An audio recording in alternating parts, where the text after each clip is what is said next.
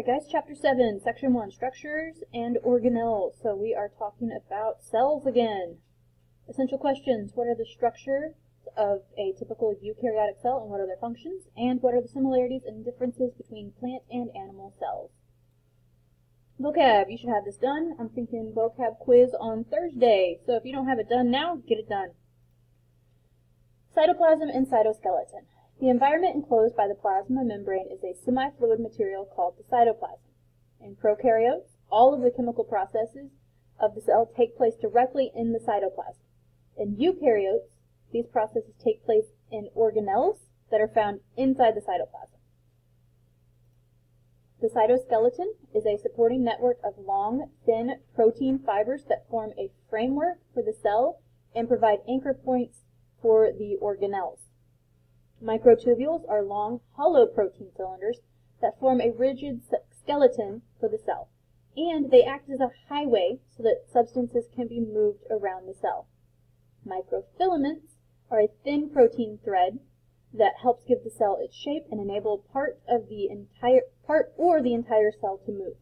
So microtubules are like the infrastructure, like the uh, the metal uh, of a of a large building. Okay, the microfilaments are like the, I don't know, like the cart that they use to deliver the mail. Okay, so those are uh, slightly different, but they're both part of the cytoskeleton. The nucleus, this is the most important part of the cell. It contains most of the cell's DNA, which stores information used to make proteins that determine the cell's growth, function, and reproduction. So they basically control the actions of the entire cell. It is surrounded by a double membrane called a nuclear envelope. That envelope just keeps all of the DNA inside the nucleus where it is safe and can't be damaged. Ribosomes are organelles that manufacture proteins. They are not membrane bound like other organelles. Uh, they are produced inside the nucleus by a structure called the nucleolus. Um, prokaryotic cells also have ribosomes because all cells need protein. The endoplasmic reticulum, or ER, is a membrane system of folded sacs and interconnected channels that serve as the site for protein and lipid synthesis. There are two types, rough and smooth. The rough endoplasmic reticulum is where proteins are made, and the smooth endoplasmic reticulum is where lipids are made. The rough ER has ribosomes stuck to it.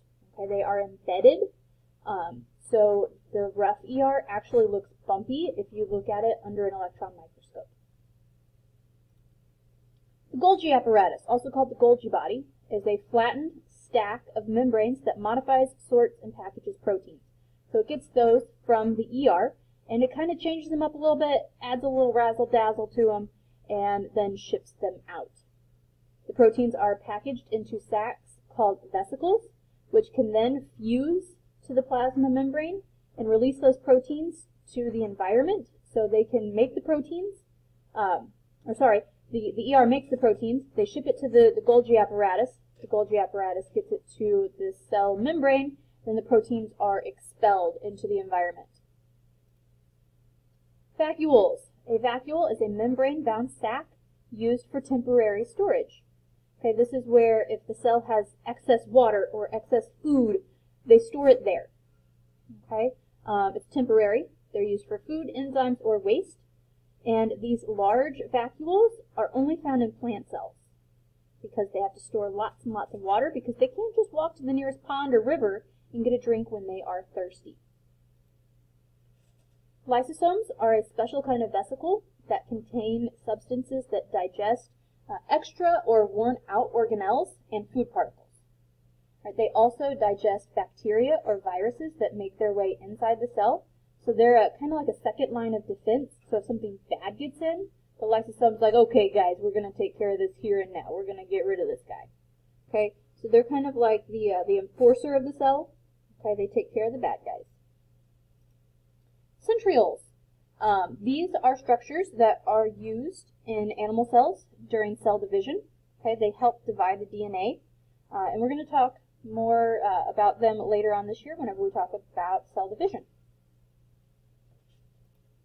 The mitochondria, you have probably heard it is the powerhouse of the cell. Well, this is the organelle that takes glucose from uh, the environment, from the, uh, the bloodstream if it's an animal, or from the chloroplast if it is a plant, and it converts it into a form of usable energy. Okay, our bodies, we need glucose, but we can't just use that for energy. The mitochondria has to break it down so that we can actually use it. The mitochondria have an outer and inner membrane. Uh, the inner membrane is very folded, okay, and that increases the amount of surface area for chemical reactions to occur so that they can break down those sugar molecules much more quickly. Chloroplast, these are found in uh, photosynthetic organisms, all right, so organisms that make their own food. Um, plant cells and some other eukaryotes contain chloroplasts, which capture light and convert it into chemical energy in a process called photosynthesis. We're going to take a lot of time and talk about photosynthesis. Um, they are composed of multiple sac-like uh, discs called thylakoids, which contain the pigment that actually captures that sunlight. Okay, and that is what makes them green. The cell wall. Plant cells have a cell wall. It is a thick, rigid mesh of fibers that surrounds the outside of the plasma membrane. It's found only in plant cells. Um, it protects the cell and gives it structure, and it's made from a carbohydrate called cellulose. So it's a sugar molecule bonded to a sugar molecule, bonded to a sugar molecule, bonded to a sugar molecule, over and over and over and over and over. Okay, we are not able to break down cellulose, but it is a major part of most plants, and that's what gives them the crunch when we bite into them. Cilia and flagella. Cilia are short, numerous projections that look like hair, and they move in tandem like oars in a rowboat, and they help move the, the cell around. Flagella are longer, and usually there's only one or two per cell, and they move in a whip-like motion. Uh, both of them are made of microtubules, and they are used for movement. Comparing cells. Plant cells um, have some different organelles than animal cells. Plant cells have chloroplasts that contain chlorophyll. They contain that large vacuole for holding on to water, and they have a cell wall. Animal cells don't have those because they don't need them. Organelles at work. An understanding of different organelles allows for an understanding of cellular processes. Protein synthesis. Uh, this is a process that we're going to talk about in more detail later on this year. It begins in the nucleus with the DNA. Okay, copy of the DNA is made in the form of RNA, and it goes to a ribosome. Okay, and that ribosome reads the directions and makes a protein. Okay, that protein will be made by a ribosome that is stuck to the endoplasmic reticulum. The endoplasmic reticulum takes that protein uh, and ships it out to the Golgi apparatus. The Golgi apparatus modifies it a little bit, gives it some tweaks, and then ships it out to wherever it needs to go. And that's it, guys. If you have any questions, let me know.